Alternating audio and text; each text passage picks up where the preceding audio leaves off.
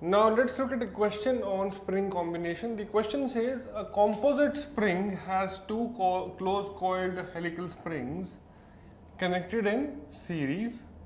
Each spring has 12 coils and a mean coil dia of 25 mm. Okay, I'm circling the data which is important.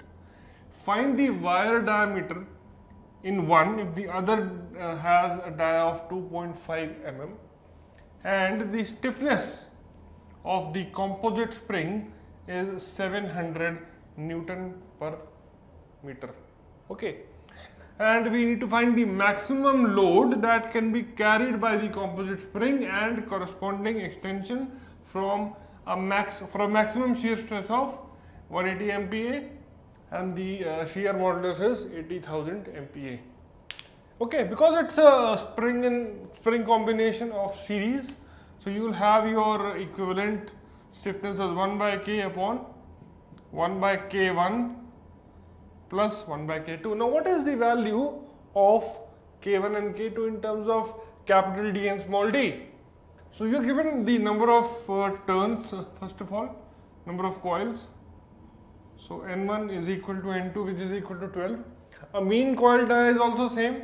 So, D1 is equal to capital D2 which is 25 mm.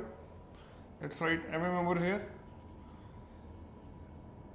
You have the uh, wire dia for one of the uh, co springs. You have uh, two and a half mm, so 2.5 mm.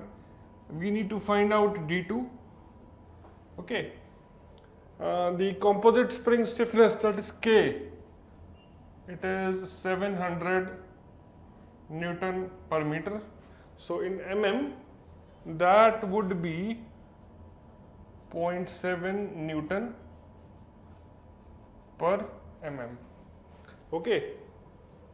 And uh, the maximum shearing stress is 180 MPa and shear modulus is 80,000 MPa. Okay, so we know that we are given these values. So let's have a look at uh, the value of k in terms of these values. So the value of k, as we know, is equal to g into small d to the power 4 upon 8 into capital D cube by n. So this is the value of k. So I will put this value over here. Okay, so I know the value of uh, this k over here, so that is 0.7. So you will have 1 by 0.7 over here is equal to. So k1, the reciprocal will become 8 into capital D cube, that is 25 cube.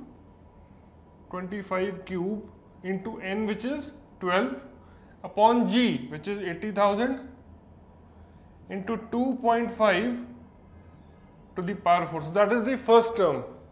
The second term would be 8 into 25 cube into 12 would be the same upon 80,000 into d2 to the power 4. So, from this equation I can very easily find out d2. Okay, so it will be a matter of just simple calculation. So, d2 will be equal to 2.1 millimeters. Okay. So let's find out the corresponding maximum load. Okay. So if you look at the two diameters, so one, one spring has a wire dia of two and a half meters or mm and the other has a wire dia of 2.1 mm. So we will design the entire load for the lesser of the two values. So I will design the maximum permissible load for this diameter. So you will have your load in terms of uh, shear stress it is pi into d2 cube into tau upon 8 into capital D. So you will get pi into 2.1 cube tau is 180 upon 8 into 25. So this will give you a value of W as 26.3 kilonewtons. So this is the not kilo but only newtons. Okay, because we've already converted this into uh, mm. So this is MPa, so you'll only get newtons. Okay, so this is the maximum load that can be carried by the composite spring. Now corresponding to this maximum load, what would be the extension? So we know that extension K into X is equal to W, where K is the stiffness of the composite spring, so X will be equal to W upon K. So 26.3 Newton upon 0.7 uh, Newton per mm will give you an extension of 37 and a half millimeters. So this is how you actually look at the data which is given to you.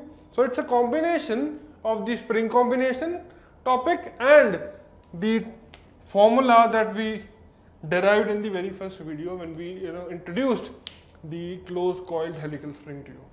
So I hope you understood this uh, question. Now let's move on to the next video and talk about leaf springs.